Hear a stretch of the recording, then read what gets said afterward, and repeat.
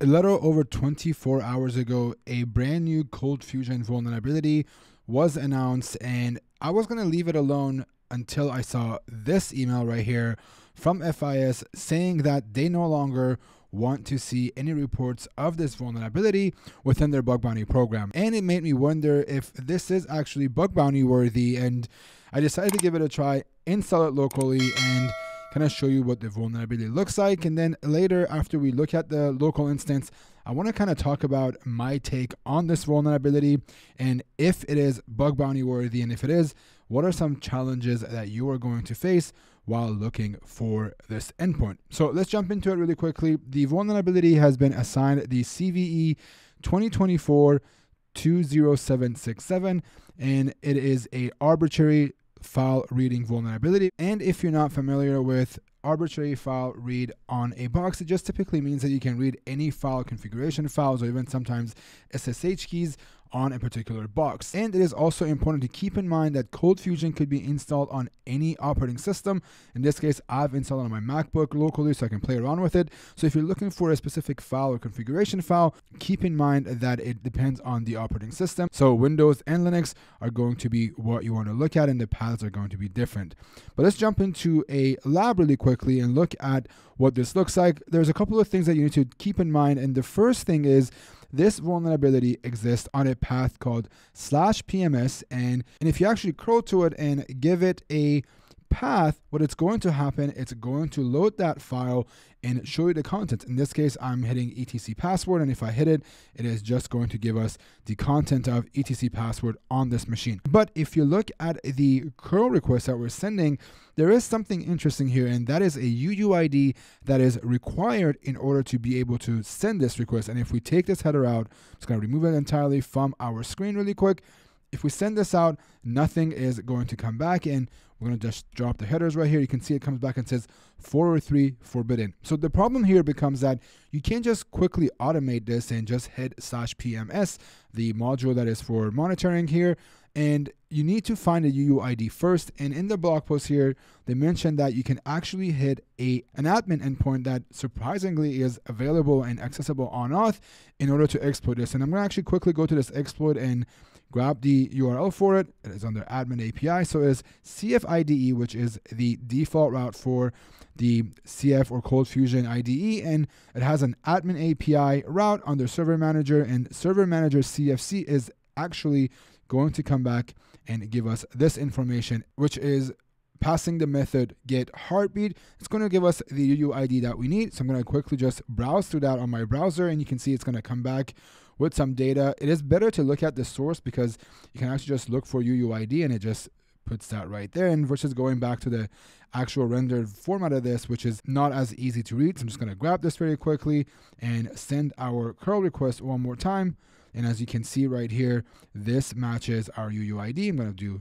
UUID equals this. And now you can see that it is actually giving us the content of the etc password file on my server. But here's when it gets really, really interesting. As you can see, I'm already on my terminal looking at the folder where CFIDE and the administrator folder is located. And if I actually go back a few folders, we can see that we're in a www root. And a lot of times it is fairly easy to either hide this CFIDE folder or actually just remove it. So the challenge here becomes that you first identify Cloud Fusion instances, and then you find a way to access the CFID if it is not removed. So here's where it gets really tricky. A lot of times this is actually available, but you have to find a path traversal within that Nginx or server or backend server that's being used to serve the content to you, and then traverse yourself out into this directory. And so in this case, a good place to take a look at is Orange Size talk at DEF CON where he talks about breaking parser logics and just kind of figuring out what method in that works and then being able to traverse out of a particular folder or file that's already available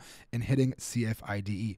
There's also a couple other ways to identify this. Honestly, what I would do personally is I would create a nuclei template and have it hit a invalid folder. I'm going to just type this on the screen. Maybe it's nahamsec dot dot slash and then traversing into this and finding a valid path maybe it is your cf script and i think there is a file here that we can hit let me actually just pull it up really quickly we can do scripts and have it hit something like dump.jsp, for example, and see if that file exists and if it matches the content of dump.js in this case. And if it returns it, you have access to it. The second approach here is to look for port 8500. That is a default port that I have seen. It automatically serves for at least the admin panel and some of the applications that I've seen on Shodan. So that's another thing you can keep in mind. And there's other couple of things you can do is hit the IP address, for example. Maybe if you hit it by IP, it may give you actually access to the uh, folder where the admin panel is created. But there's also one last thing that's really, really cool to take a look at when it comes down to just these instances. So let's take a quick look at making a curl request back to localhost 8500. You can see that it's coming back, giving us some data. I don't really care about that stuff, but I want to see the headers here. If we go back to it, we can see that there is a few things that come back. Again, this is a default instance, but I'm assuming there's going to be some sort of a similarity in a lot of these cases. One is you want to see if the cookie has any mentions of C Fusion, not Cloud Fusion, but CFusion. Maybe put that into your keywords for your Nuclei. And then the second thing is you can always try and hit an invalid path. So like something something CFM, Nahamsec CFM, and see what comes back. And if you see an error similar to this one, then that means there is a default access to a Cloud Fusion instance, and you can just narrow your search down. My take on this vulnerability is that I don't know if a lot of large bug bounty organizations are going to be vulnerable to this, but honestly, if you have a good scanner and you have a lot of good historic data, it may be worth looking at it and seeing which ones of these come back and give you access to these two vulnerable endpoints. And if you're watching this and you use Cloud Fusion for your organization, well, guess what? They have dropped a patch. Go patch it already and make sure you prevent hackers from abusing this. All right, that's it. Thank you for watching this video. Hopefully, this kind of helps you understand this vulnerability better. Drop me a comment. Let me know do you want to see more CVE videos and me kind of talking about it and analyzing it from a bug bounty perspective or not? I'll be happy to make them in the future. All right, peace.